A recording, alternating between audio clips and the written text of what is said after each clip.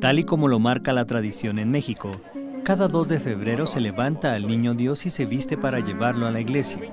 Pero esta fiesta del Día de la Candelaria, sin el trabajo de los artesanos mexicanos, no podría ser la misma.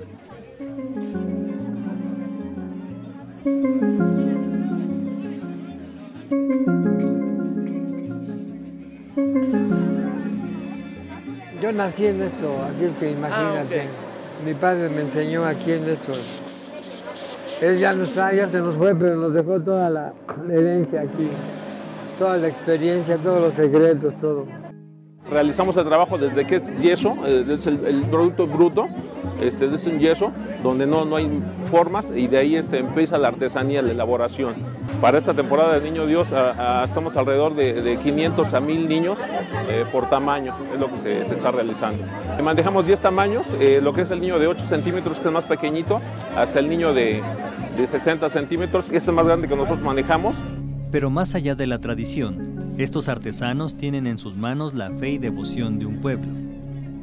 Tengo ya yo 25 años viniendo aquí. Ajá.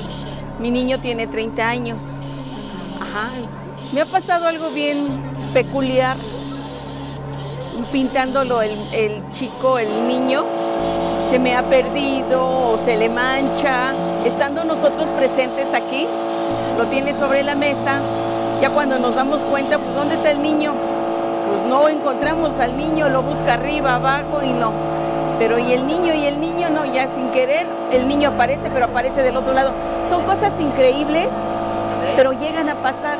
La satisfacción que, que me da este trabajo no es este, muchas veces económica, sino que hay gente que este, trae su, su, imagen o su pieza destrozada, nosotros se la armamos pedacito por pedacito, hay gente que es capaz de quedarse todo el día para ver cómo se armamos su pieza y al terminar de entregársela Dios lo bendiga, este, Dios le siga conservando esas manos, ojalá siempre esté usted en condición de hacerlo.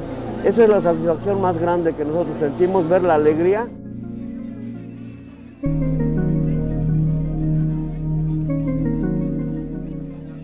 Del 100% de la producción que realizamos del Niño Dios, el 40% está yendo a, Los Ángeles, California. California es donde está yendo.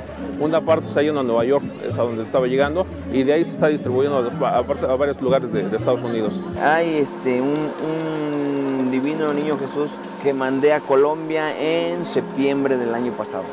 Es pieza única. Creo que al, parecer llegó a Bogotá. Me la encargaron, se hizo y me dice la persona, ¿sabes qué? Quiero que sea pieza única, me destruyes el molde. No lo destruí yo porque sentí feo des destruir algo, una parte de mí. O sea, plasmé mi trabajo en ese molde y le digo, ¿sabe qué? Destrúigalo usted. Se lo entregué, agarró cuchillo y tijeras y rompió ese molde. Le digo, ¿por qué? Dice, porque va a ser único. No va a haber este otro y me dice, oye, dice, ¿le hubieras puesto algo tu apellido? Le digo, no. Le digo, pues ahí está todo mi apellido, toda mi persona, todo está ahí en, en, esa pieza que, que esculpí. Con información de Javier Lira e imágenes de Oscar Valencia, Notimex.